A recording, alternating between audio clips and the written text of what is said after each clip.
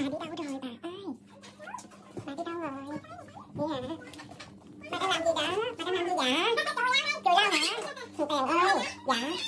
Chùi lao có đèn không? Có đèn bắt đèn lên chùi lao đi. Đó. đâu xong rồi. Dạ chùi lao xong chưa? Xong rồi xong rồi.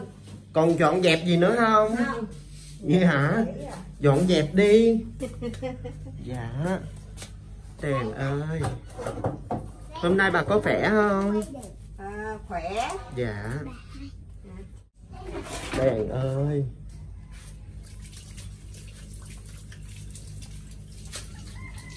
Lau chùi lau chùi nãy giờ hả bà? Rồi lau chùi nãy giờ. Dạ. Ừ. Đó. mì đồ gì đó.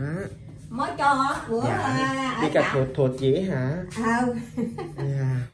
Ta có dạng lần sâu Trời ơi bên đó mắc cái bực rồi ha. Mọi bữa À. con chạy bên đó không có cái bực. Bữa nay cái bực rất cao à, nha. nước mình nó tràn qua dạ. Mình thấp quá mình nó tràn qua cái xây cho cao cao đừng cho nó dạ.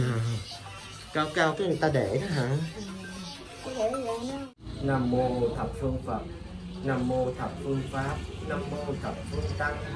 Này đủ cái duyên lành Bằng cái tình cảm yêu thương có món quà tình thương của chị Thọ Lê ở bên Mỹ, Dù ở nơi gác xa, Nhưng mà chị vẫn thương cho bà con nghèo nơi quê nhà. Ngày trước con có đến với hoàn cảnh của bà, Thì nhận được cái món quà tình thương của chị à, Thọ Lê bên Mỹ ngày hôm nay. Chị Thọ Lê thương cho hoàn cảnh của bà bị à, mắc nửa cánh chân, nên trong đời sống rất là khó khăn. Bà không chồng, không con nữa mà tấm lòng bao la cao cả của chị Thọ Lê bên Mỹ dành tặng cho bà đó cái số tiền là 500 ngàn. Hồi hướng công đức lành, cầu chúc cho gia đình của chị Thọ Lê bên Mỹ nhiều bình an, nhiều sức khỏe, làm ăn có lộc có tài để giúp đỡ bà con nghèo nơi quê nhà. Cảm tạ món quà và tình thương của chị Thọ Lê rất nhiều. Cầu chúc cho gia đình của chị, sở nguyện tỳ tâm, sở cầu như ý đời đời sống an lành trong ánh sáng hào quang của mười phương chư Phật, xin Đức Phật A Di Đà tác đại chứng minh. Con xin trao tặng món quà tình thương của chị Thọ Lê bên Mỹ cho bà. Cảm ơn à, cô Thoại Lê ở bên Mỹ cho tôi à, một số tiền à, cũng rất cảm ơn gia đình cô gặp nhiều sức khỏe, rồi mừng ăn phát tài, phát đạt cầu chúc cho cô chú ờ, và nhà cửa cô chú mạnh khỏe bình yên hết. Còn năm, những cuối năm cũng nhờ ờ, cô chú giúp đỡ cho tôi tôi cũng cảm ơn nhiều lắm.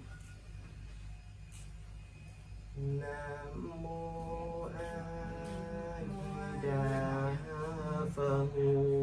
Nam mô A Di Đà Phật. Nam mô A Di Đà Phật. Con cũng chúc bà nhiều sức khỏe nha bà. Cảm ơn. Dạ, cảm tạ công đức lành của chị Thọ Lê rất là nhiều. Cảm ơn món quà tình thương của chị. Trao tặng cho bà 500 ngàn để chia sẻ tình thương. Bà có tiền mua đồ ăn trang trải cuộc sống qua ngày